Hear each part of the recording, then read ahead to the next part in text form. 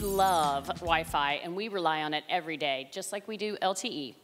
Companies are ready to deploy new LTE technology in unlicensed bands to provide consumers exciting new services.